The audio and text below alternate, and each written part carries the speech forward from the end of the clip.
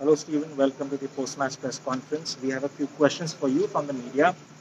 Uh, firstly, could your managerial debut have got any tougher against such a top team?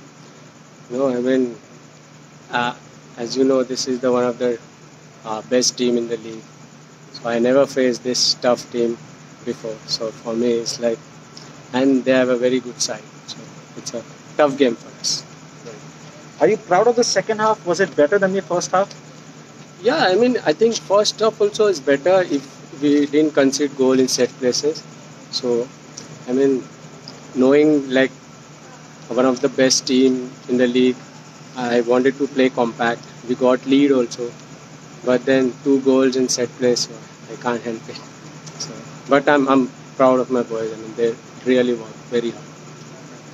How disheartening was it to see Steven Taylor getting injured in his 400 career game? Yeah, I mean, very.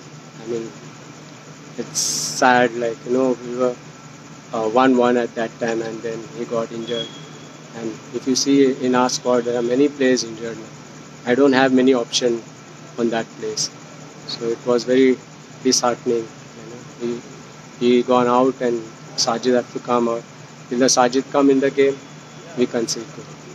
So it's very disheartening for me. Uh, what is his status? Will he be available for the last game? I don't know. I have to check now. I have to go back and see how he feels. I asked him now. He said he got pain. So we tonight let let let's see how he feels tonight. Then I'll ask him tomorrow morning, and uh, we'll plan according to his Yes. You started with Kamalpreet Paul and Baoringdao Bodo. What do you make of their performances? I mean, they're doing really good in training session. So I wanted to give them chance. I mean, they're working really hard in training session. And the way I wanted to play compact football, the young players, they wanted to like you know prove themselves. So that's why I chose them. Like you know, they will give their best. And throughout the training session, they were giving their best, and they didn't got much chance in this league. So that's why I chose. them.